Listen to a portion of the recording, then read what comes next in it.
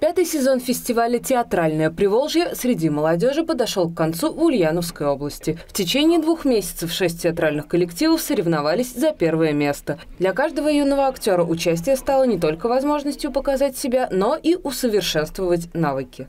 Вы получили, многие из вас получили консультации, кто-то работал с наставником, кто-то, может быть, работал с профессиональным актером, а, советовались, советовались между собой, проявляли свои идеи, свои инициативы, воплощали их.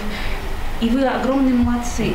По итогам регионального этапа победил театральный коллектив «Фрагмент» ДК «Строители» с постановкой «Баллада о крыльях», а парни, который шел к своей цели, несмотря на негатив от окружающих. Молодежь бывает очень агрессивна к тем людям, которые к чему-то идут, и вместо того, чтобы поддержать, они только как-то дразнят их и так далее. Поэтому мне кажется, что это очень полезно.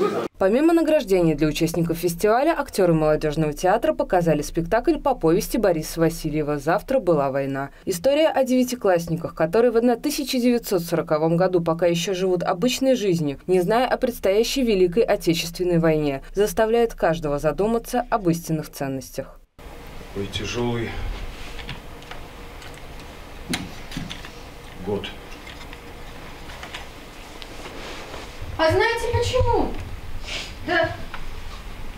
Да потому что 1940 високосный год. А вот следующий год обязательно будет счастливым. Также для участников фестиваля «Театральное Приволжье» руководитель молодежного театра провел мастер-класс по актерскому мастерству и сценической речи. Особый упор был сделан на совершенствование коллективной работы. Я дам некоторые тренинги и упражнения, которые объединяют этих э, э, ребят, которые будут помогать им создавать общее художественное произведение в виде спектакля. Итоги пятого сезона фестиваля «Театральное Приволжье» среди детских театральных коллективов будут объявлены 20 декабря. Юлия Руднева, Герман Баранов, Улправда ТВ.